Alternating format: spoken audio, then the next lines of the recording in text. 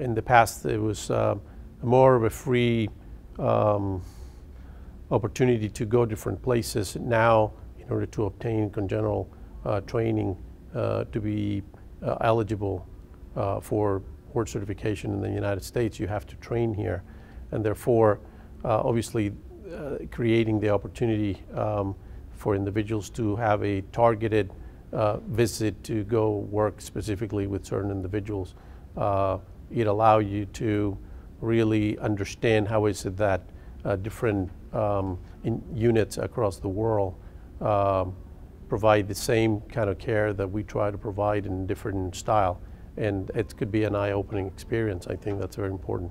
Congenital cardiac surgery community is, is very small within any one country. And it's very important to foster and develop international relationships. New technologies, innovative therapies, new thoughts are developing around the world. And while you can learn these from journals it's better to have the relationships where you can call and speak with people around the world, where you know them at meetings, where you can meet face to face.